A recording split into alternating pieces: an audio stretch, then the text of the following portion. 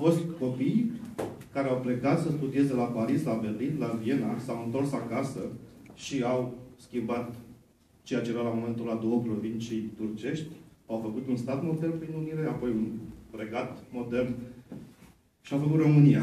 Cred că suntem inevitabil în aceeași situație, în reluăm ciclul istoric în care țara asta trebuie modernizată și modernizarea în România înseamnă europenizare. De fapt, de asta USR este cel mai pro-european partid din România. Pentru că modernizarea, schimbarea reală a României trece prin Uniunea Europeană.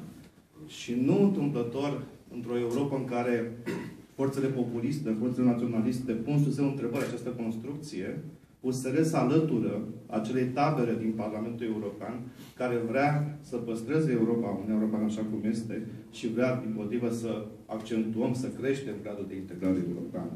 Uh, nu este deloc întâmplător. Toate aceste cicluri istorice se reiau într-un fel sau altul și ăsta este destinul nostru, destinul pe care ne l-am asumat atunci când am intrat în politică. În România, vedeți, cel mai pro-european partid este și un partid foarte moderat. Spre deosebire de multe alte țări în care partidele noi, partidele antisistem, tind să fie extremiste. Noi suntem moderați. De ce? Pentru că sistemul este extremist în România. Sistemul din România este dominat de populiști, de descrierați. Vedem ce se întâmplă acum cu cu legislația economică și atunci reacția normală de bun simț a societății pro-europene înseamnă moderație. Și asta este Uniunea Salvați România. Uh, mâine o să, uh, o să publicăm date despre toate filialele noastre. Sunt mândru că avem aproape 300 de filiale locale, între care 135 în mediul rural. Sunt 135 de comune care, are, care au în acest moment filiale USR și ne-am propus în acest an să ajungem la 900 de filiale, astfel încât să intrăm în anul electoral național 2020 cu peste 1000 de filiale și să fim peste tot, să ne batem cu PSD om la om pe tot, tot terenul. Pe Eu sunt, suntem acum la Focșan, este un loc istoric. Acum 160 de ani, strămoșii oamenilor din această, din această țară au avut proiecte mari pentru România și noi avem un proiect mare pentru România și mă bucur că suntem toți aici pentru acest proiect. Sunt Clotilde, um, sunt membru fondator USB. Uh, în 2016, când am venit aici ca să uh, lansez un grup de inițiativă Focșan, așa era?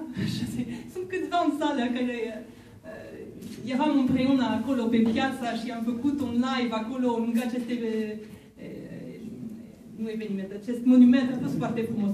În 2016 spuneam că vom salva această țară prin um, o implicare locală.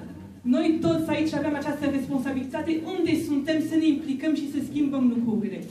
Și eu am rămas la nivel local, sunt consilier local în sectorul 1 și n-am candidat la alegerile parlamentare, colegii noștri au fost, uh, sunt în jurul nostru parlamentar care s-au implicat și bravo lor. Acum, de ce, de ce am candidat la uh, alegerile europarlamentare? De ce candidăm? De ce candidez eu la alegerile europarlamentare? Pentru că ne trebuie voci puternice pentru a vorbi pentru România în Parlamentul European. Trebuie să punem acolo toate forțele noastre și oamenii care, sunt mai, care au o notorietate mai mare. Este extrem de important să ne facem auziți ce se întâmplă în România este, uh, nu, nu știam, nu știam în 2016 când uh, am participat la aceste alegeri că dezastru va fi atât de mare. Acum trebuie să ne mobilizăm cu toții, și colegii noștri, și cetățenii, să se ducă la vot. Este foarte grav ce se întâmplă, știți și voi. Și trebuie ca noi să fim o voce puternică și eu, care voi reprezintă, voi reprezintă cetățeni, uh, aceste cetățeni, trebuie să fim o voce puternică în Europa pentru a schimba lucrurile.